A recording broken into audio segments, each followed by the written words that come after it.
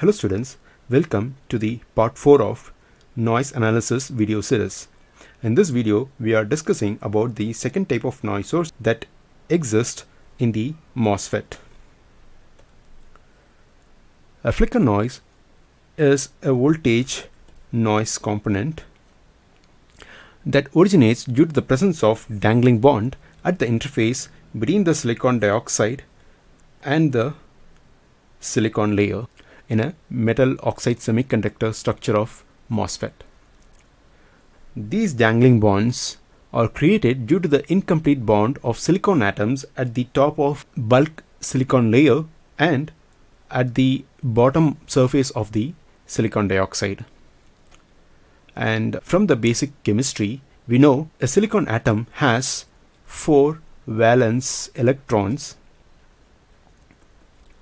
and it needs four more electrons to complete the valence band. So in the case of a bulk, it creates a covalent bond with its neighbor such that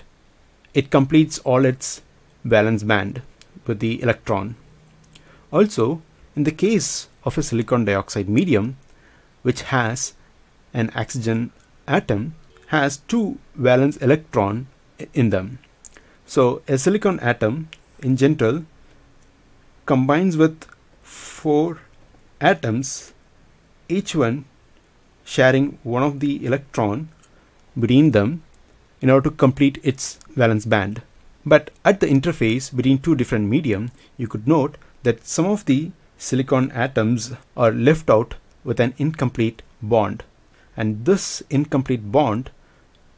will act as a trap where the charges that runs between the source terminal and the drain terminal will be trapped when there is a current flow between the drain and the source. And these trapped charges will then be released at later times. So this trapping and releasing mechanism is so random that they introduce some sort of noise in the drain current flow along the source and the drain. And also the severity of this mechanism depends purely on the flow rate of charge across this channel, which means that when the charges flow at a faster rate,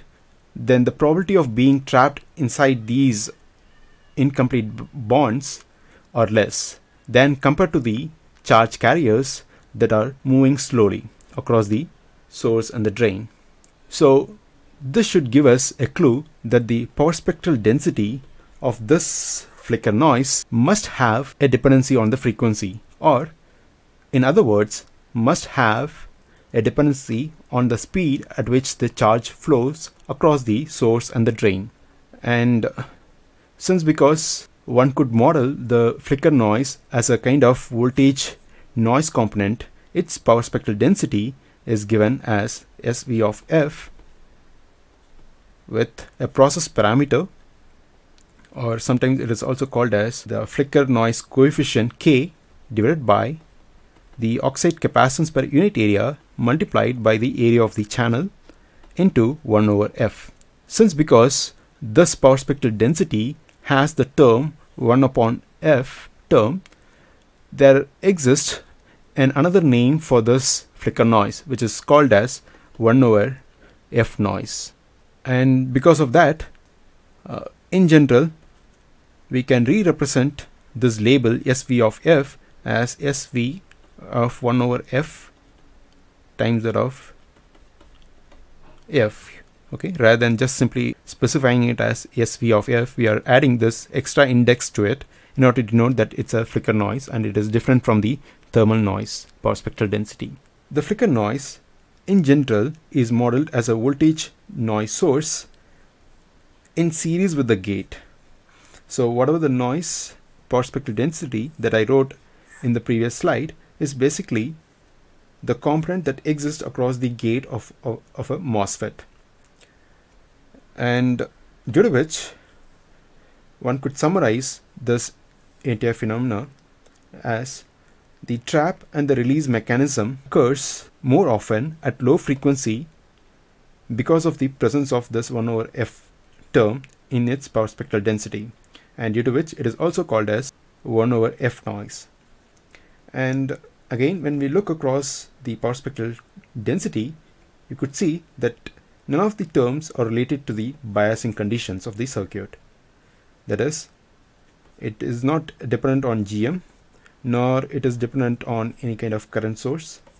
that flow through the circuit but rather it depends on the device dimensions like length and the width and due to which whenever we try to design a low noise amplifier one would require a large area in order to suppress this flicker noise in the amplifier. And due to the presence of this 1 over f term in its power spectral density when you try to plot the power spectral density over this frequency axis you could see that the power spectral density degrades at much higher frequencies than compared to the power spectral magnitude at the lower frequency. Now let us do a simple exercise in order to compute the total thermal noise as well as the 1 over f noise in the drain current of a MOSFET for a band where f1 is specified as 1 kHz and f2 is specified as 1 MHz. Now since we are interested in the drain current we need to evaluate the variance of the noise current component because of the thermal noise as well as the variance because of the 1 over f noise in terms of current component. So first let us try to evaluate the variance of the thermal noise current component where TH in this particular notation denotes that we are discussing about the variance of a thermal noise. And that is written as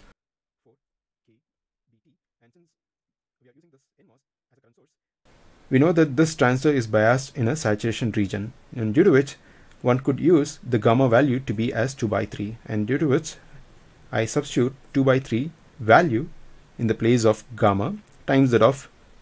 gm. And since because this entire power spectral density which is denoted as doesn't have any frequency term the integral between these two limits will end up having 10 to the power 6 minus 10 to the power 3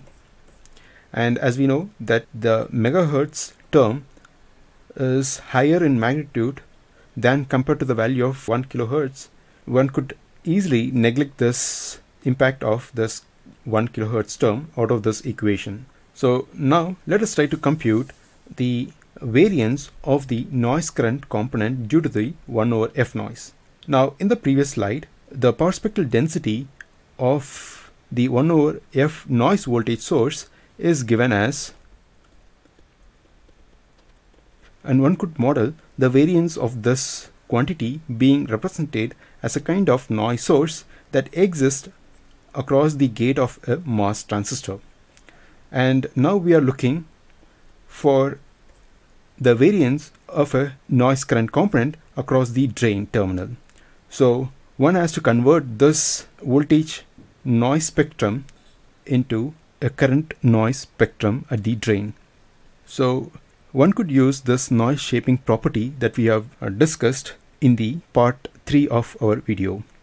Now based on this we know that the input to this system is basically a voltage noise. So we have a voltage as an input and the output we are expecting out of the system is a current component I. Now this H of f could then be written as output by input which is I by V. Now what is this I by V term that we have out of this transistor model? So in order to compute the transfer function of I by V form we need to draw a small signal model for this structure. Now the gate, drain and the source and we know that across the drain and the source there is a small signal current which depends on the value of VGS and that current component could then be written as GM times VGS. Now the way that I have modeled this current flow depends based on the polarity of the value of VGS but when it comes to a noise calculation the polarity doesn't matter. In a way that the current direction never matters while computing the power spectral density of a noise component. And we also have a resistive component across the source and the drain which is labeled as R naught and this is the small signal model that we have here and across the input what I have is a kind of voltage noise variance and we are expecting a current noise variance at the output. Now when I try to short this particular node in order to compute the current component at the drain, clearly this gives us that the transfer function of this system which is In by Vn to be equal to gm. So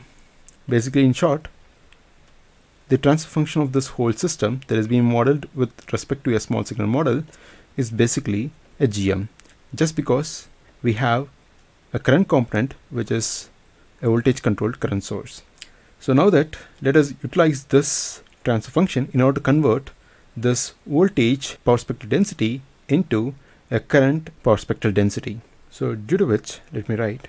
as and this should give us a value which is equal to gm square into so now that we got this we want to compute the variance of it. Now as usual while we'll be using this Wiener-Khinchin relation to convert this power spectral density into its variance and one could write the variance as something like this and integrate this entire quantity over the specified frequency band of 1 kilohertz to 1 megahertz. Now after doing some simple algebra one would end up having a quantity which is given as gm square k cyx length into width and this 1 over f term while integrating will get updated as ln of f and over this frequency band when we substitute it becomes 10 to the power 3 so now that we have computed the variance of this 1 over f noise in terms of a current component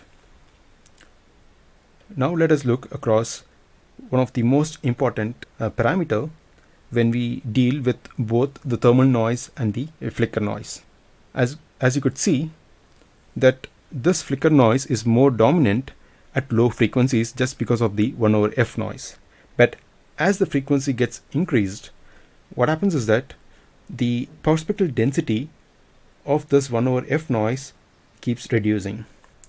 But once you cross a particular frequency which is marked as corner frequency, the